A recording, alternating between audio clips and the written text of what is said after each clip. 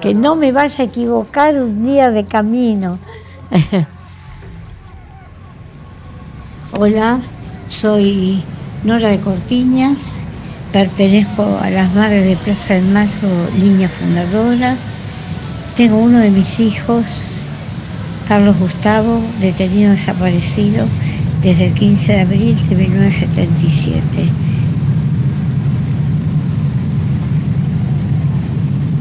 Primero es el compromiso de lucha desde hace 42 años y también que salimos en la búsqueda de nuestros hijos e hijas, pero las madres fuimos tomando conciencia de las luchas que hacían nuestros hijos e hijas y justamente fuimos tomando esas este, luchas populares para este, ayudar y estar y tratar de mejorar eh, todo donde haya injusticia.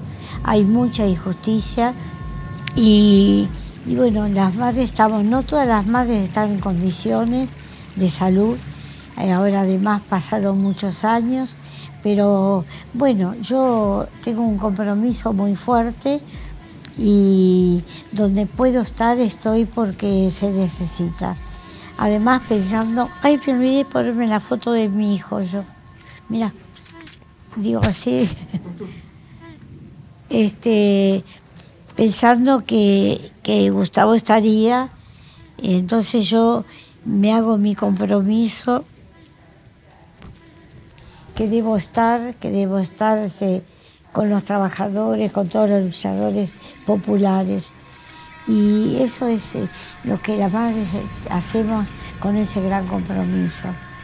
Y después ir a la plaza todos los jueves, desde luego, que vamos media hora, de tres y media a cuatro, y que allí también recibimos gente que viene también a adherir con nosotras y además a traer la denuncia de la injusticia que pasa, la falta de trabajo que están echando mucha gente, el achicamiento de la salud, los hospitales, la persecución a los docentes, cada tanto amaga más fuerte, este, y a todos los trabajadores este, que son tan imprescindibles.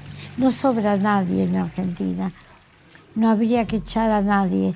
Toda la gente tiene un rol para cumplir y no es posible que haya 200.000 despedidos, este, se cierren fábricas. No hay porque esta Argentina la están destruyendo día por día.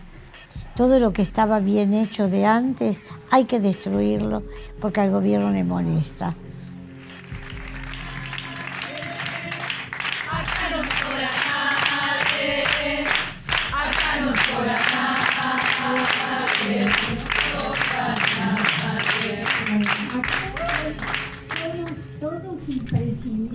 Eh, las eh, mujeres que vivimos en una estructura familiar antigua, de muchos años, este, siempre crecimos cumpliendo con deberes que teníamos como ama de casa, como madre, como abuela. Y bueno, cuando uno se da cuenta que tenemos el derecho a sentir, a pensar y actuar, bueno, es, hay que ejercerlo. Y eso es lo que me volcó a hacerme feminista, pensando de que era un modo de sentirme feminista. Con el paso del tiempo, este, yo veo que el feminismo no es uno solo y estructurado, es reconocer que tenemos, además de los deberes que desde que nacemos ya los, nos ponen a las mujeres, tenemos derechos y tenemos que irlos aprendiendo. Educación sexual integral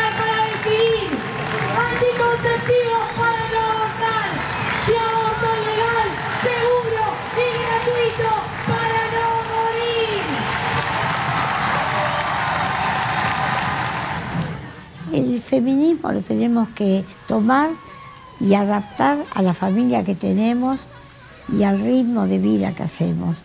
No puede uno enloquecerse y querer imitar a otras mujeres que también son feministas. Creo que hay que moderar y somos nuevas en el feminismo. países de Europa tienen su antigüedad. Acá tenemos que, a veces nos podemos hasta equivocar.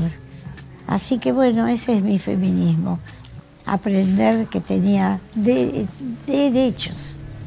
Bueno, no, primero tener memoria, no olvidar el pasado. Tener memoria es recordar eh, todo lo que hemos vivido. A veces tenemos recuerdos lindos, tenemos recuerdos afectivos y no todos siempre que los que vivimos este horror de lo que es la desaparición forzada este, es la amargura. Mi hijo me dejó enseñanzas, me dejó un camino y, este, y los recuerdos y la memoria refuerzan la lucha por lo que tenemos el compromiso de seguir.